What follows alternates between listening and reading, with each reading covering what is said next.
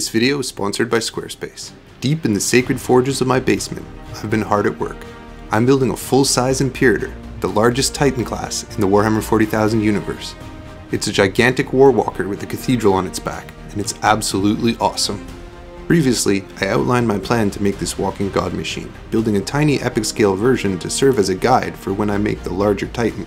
That bigger version will be just under 7 feet tall, and will be composed of modular components so I can use the individual pieces on the tabletop. But since my last video, the project has gotten even bigger, but we'll talk about that later. Let me start by updating you on what I've been up to in the weeks since my last video. Getting this project off the ground was slow going because there were a bunch of challenges that I wasn't sure how to solve to make this thing happen. The first challenge was a really, really important one. How am I going to make this thing structurally sound enough to stand up? Well, I'm not an engineer, but I quickly realized that I would need to have some internal structure to support the weight of this creation. And as for the weight, well, I don't know the weight because I haven't built the thing yet and I'm not sure exactly what the dimensions are going to be or what exact materials I'm going to use, so it'd be hard to calculate it with any precision. Nonetheless, I decided to fall back on an idea that I've seen other people do before, which is to use a skeleton made out of PVC pipes. So I headed to Home Depot to get some supplies. And this is when something really cool happened. This really nice guy who works at my local Home Depot was helping me and he was answering all these questions about what the best PVC glue was and kind of trying to figure out what exactly I was trying to do. And as it turns out, he used to be a 40k player in high school, so he knew exactly what an Imperator Titan was. The chances of this happening I think are pretty slim, so I took this as a really good omen for the project. He immediately became super enthusiastic and helped me find all the pieces that I need. He helped me choose these heavy duty brackets that I can bolt into a base that the PVC pipes will slot into. Thanks Isaac.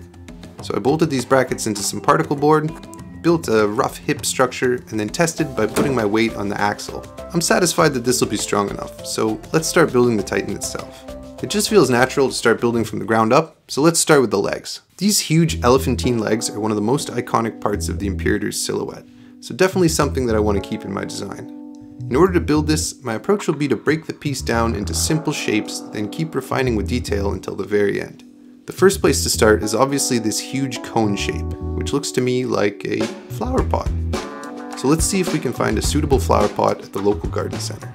I want something that's just the right angle, but also the right material. I need something that's thin enough to cut without too much trouble, but thick enough to have some structural strength. Wait a minute, is that the price? Ah! Oh! This other one is very similar, but about half the price, so let's go with this one. It's still pretty expensive, but I think it's going to be worth it. Because the pot shape is only on the shins, I'll only need one pot that I can cut in half. Anyways, I bought my pot back to the workshop and set about bisecting this bad boy. I marked it out with tape. Now it's important to look extremely cool when you work on things like this, so I put on my tactical safety shades and hot pink respirator, busted out my Dremel tool, and cut into this thing.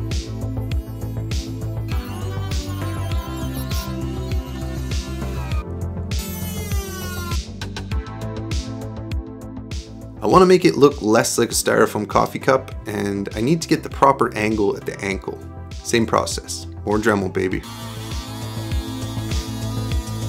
Alright, just like that we have some shins. I cut a nice round piece of foam to mount the shin pieces on, and if you're thinking, damn Eric, that is the most imprecisely cut large diameter circle of foam I've ever seen, well, you're not wrong. We can fix that later. I put a beautiful back piece on with another large piece of foam. What do you think? Nice. The front pose is a really interesting challenge. How am I going to get something symmetrical and decent looking given the curve and angle of the shin pot? If I'm honest, I think the front shin on my Epic 40k model looks pretty bad. Trying to curve the windows around the edge of the pot shape is just not something I looked forward to and I didn't think it would look really good even if I did it well, so I changed the design. I decided to make a gothic type structure that would echo the cathedral-like elements that will eventually be on the top, with two towers flanking a roughly square space in the center that will be the main entrance gate. Wait a minute, did I just say square space? I sure did. If you want to get any of the materials used in today's project, go check out the website I made using Squarespace in the links below. Using Squarespace's tools, I was able to put together a website that's going to be a hub for showcasing my work, linking to products I use, and selling merch like my t-shirt designs. So far, it's been really intuitive and easy to use, and I'd recommend it to anybody, which is why I'm telling you guys about it. They've optimized it so it adjusts itself based on whatever device you're using, and it always looks great. So head to squarespace.com slash Eric's Hobby Workshop to save 10% off your first purchase of a website or domain using the code Eric's Hobby Workshop. Thank you Squarespace for sponsoring this video. Now let's get back to it. The load-bearing steel structure of the Imperator's leg comes down on an angle here, so I block that in with more thick foam. Everything is very simple at this stage, but this will provide the basis for all the detail work later. This shape, for example, will be covered with huge pistons and steel plates. I need to cut a hole to accommodate the PVC pipe that will act as a structural support. This reminds me of in cartoons when they're sawing through the ice on a frozen lake. Anyways, I eat that pipe in there and as you can see, we now have a long smooth shaft that goes from about waist height to the ankles. you might be saying, well, what is that supposed to be? You just told me the bit next to it is supposed to be the steel load-bearing leg component, so what's that? Well, get this. It's the stairs. That's right, according to the Horus Heresy novel False Gods, there is a spiral staircase that you can take from the bottom of an Imperator Titan up to the bridge. This has maybe been kind of retconned. In the Hell's Reach novel, for example, a priest leaves an Imperator Titan while it's in mid-stride and he has to climb down a ladder on the exterior of the Titan. But I figure that uh, my Titan's gonna have the classy interior spiral staircase, so we're going with that. It doesn't make sense for the staircase to pass through the load-bearing structure of the knee, but I'm going to have to make some efforts later to camouflage it so it won't look like it would impede the step of the Titan. Now I know what you're thinking. You're thinking, Eric, why would they put the stairs on the outside of the Titan? Isn't that kind of a weird and crazy design? The real question is, why would they do any of this? This has got to be one of the most impractical things ever designed. But that's not the point. Forget for a second that this thing couldn't take even one step without falling over just based on the weight distribution and the shape of it alone. That's not the point. There's only one reason for an Imperator Titan. When you see that thing on the horizon, it looks like a physical manifestation of the machine god. It's impossible to gaze upon one of these monstrosities and not feel fear and awe at the power of the Mechanicum of Mars. That's the point of an Imperator Titan. As far as I'm concerned, this thing has two requirements only. One is to look extremely badass. The second is to stay upright. Anyways, long digression aside, let's crack on. Building something like this uses a lot of foam and makes a lot of foam scraps. But sometimes if you keep your eye out, you get lucky and you find three scraps like this, which when I put together, make the perfect front facade for above my gateway. What a lucky break. I added some stairs to the big toe in front of the gateway, but then I had a thought that it would be more tank friendly if there were some ramps coming down here as well. So I made that happen. Now that's a big toe. Now as you can see, tanks can drive freely in and out of this bad boy. As I mentioned in the first video, an Imperator should be able to house an entire legion of Skitarii or Guardsmen. Now that you see the relative size, I hope you understand why I aim for the higher estimate in terms of canonical height. It simply doesn't make sense to me that you would be able to get that many soldiers into the structure like this if it was half the size. All said and done, this thing will be over 100 meters tall in 40k scale height, and I think that was the right choice. So the Epic Mini has these nice four Gothic windows on the front of the shin, and I wanted to keep that stylistic element, so I made a jig and I cut out some of those. Now I've been slowly teaching myself some 3D modeling, and I've started making my own STL files to 3D print for finicky things like windows. Every time I make an STL file, I'll make it accessible to my patrons, and I hope to make a lot more in the coming months. So speaking of which, if you want to become a patron, I've decided that every patron of mine will get their name somewhere on the finished Titan. So if you want your name on the biggest and most exciting project ever, head down to the link in the description and sign up. I'm also giving away a ton of stuff to my patrons this month because they are the thrumming plasma reactor at the heart of this channel, and I'm very appreciative of them.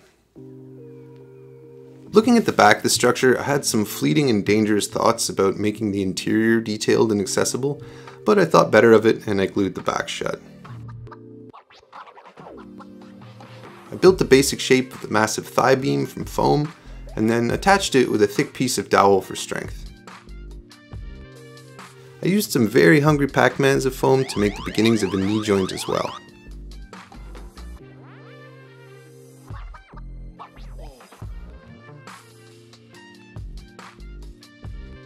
Top of the hip piece I just added is over 30 inches tall. That's over 8 inches taller than a Forge World Warmaster Titan already. This actually reminds me of a fairly frequent comment that I got on my first video about the Imperator. That the Imperator is not the biggest Titan. There's a bigger one called the Castigator Titan. So let's take a quick look at the Castigator Titan. Hmm. It is made in the dark age of technology, one of a kind, has muscles, Its head is on top of its shoulders instead of the Chad Hunch of the other Titans. It's fully artificially intelligent, which is forbidden. It was corrupted by chaos, and it no longer exists because it was destroyed by the Grey Knights. Hmm. I wonder why I didn't count the muscle bound AI demon corrupted one of a kind Titan that doesn't exist anymore. Must have just slipped my mind.